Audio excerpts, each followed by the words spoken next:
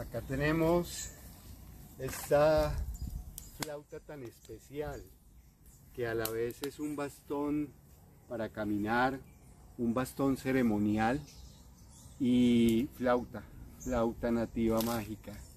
Entonces, en Estados Unidos estas flautas las llaman walking flute stick o walking stick flutes. Eh, yo prefiero usarlas a nivel ceremonial, eh, ceremonial flute. Eh, está materializada en madera de café, de café de acá, de la finca. se cortó a los 13 años, o sea, este palo tiene 13 años, es madera absolutamente dura, resistente y bueno, eh, es el, café de Colombia, de la región cafetera de Colombia, entonces es una flauta triple poder.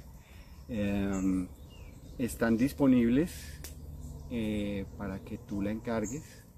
Y yo con todo gusto y todo mi amor eh, la materializo para ti. Este bastón ya tiene dueño.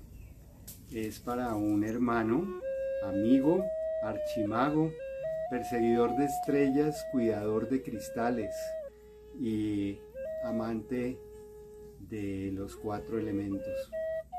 Eh, pero tú puedes pedirme desde ya eh, tu flauta bastón ceremonial mágico.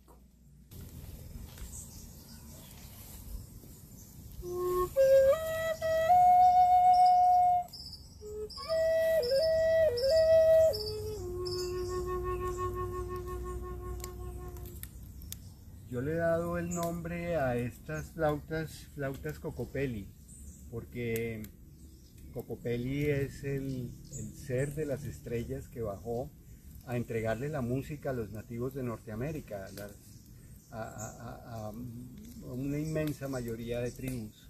Eh, Cocopelli para ellos es símbolo de fertilidad, de alegría, de mucha prosperidad y es una representación en más de 2.000 petroglifos en los cañones del centro oeste de lo que hoy en día es Estados Unidos. En muchos de ellos aparece una figura con unas antenas encorvada y tocando una flauta muy larga.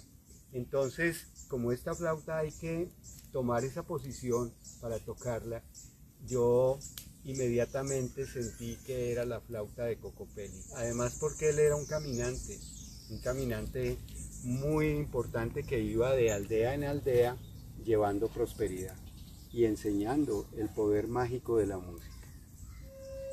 Espero sus pedidos.